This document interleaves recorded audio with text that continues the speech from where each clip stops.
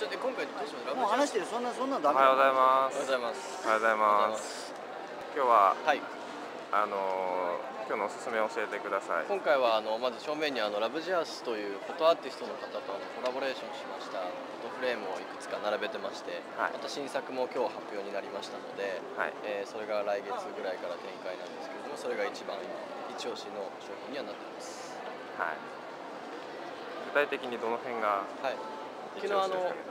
辰木先生もあのトークショーをやっていただきまして、はいすごく好評でしたので、はいこの辺りの新しいフレームは特におすすめではあります、はい。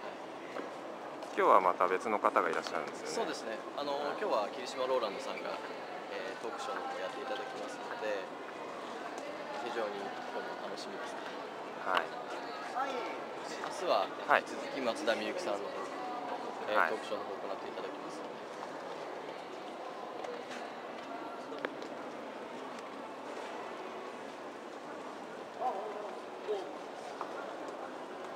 はい。今回新商品とかはない？えあのアンブラのラインの方でも新商品がありまして、えー特におすすめなのがこ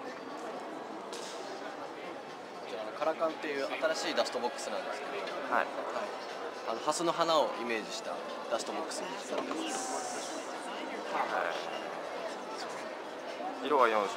4色ですね、はい。下も新商品ですね。こちらは、えー、と今在庫すぐにあの展開いただいているもう新商品なんですけどかなり評価は良くて売れてますね人気のある商品ですねなるほどはいはい。あとは定番のガルボの缶も新色でリップスティックレッドですね口紅のような鮮やかな赤で綺麗な色ですね。はいはこちらも新商品になってますい。はい。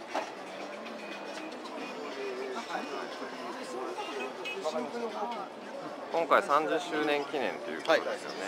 わかりました。そうですね。ですので今までの、まあ、アンブラの歴史ですね。歴史を。ヒストリーですとか、あ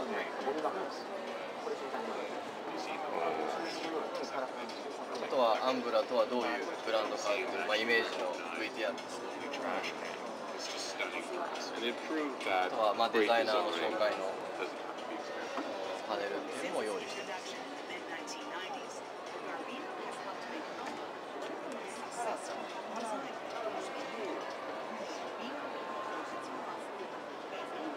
んなもんですか。はい、ありがとうございました。アンブラでした。